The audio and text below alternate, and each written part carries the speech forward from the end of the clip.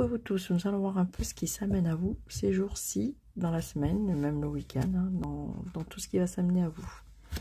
Alors, on parle beaucoup de jalousie qui vous rend malade, hein. ça vous contrarie, ça vous donne des difficultés, ça, vous avez envie de terminer, de mettre fin euh, concernant le travail. Le travail, il y a beaucoup de jalousie, ça vous rend malade, c'est difficile pour vous de supporter ça, vous avez envie de couper avec votre travail, de mettre fin. C'est vraiment instable.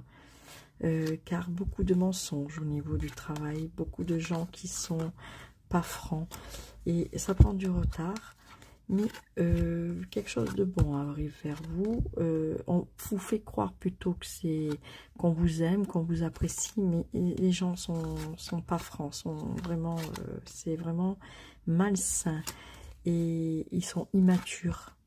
Immatures. Alors on parle d'une association ou plutôt euh, d'une union. Alors ça concerne la maison, alors peut-être votre relation amoureuse euh, qui intervient au niveau de ça.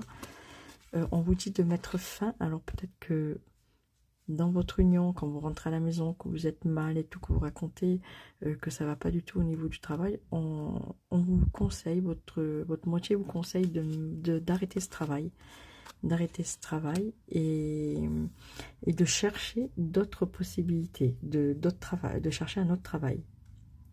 Voilà, je vous dis à bientôt. Bye bye.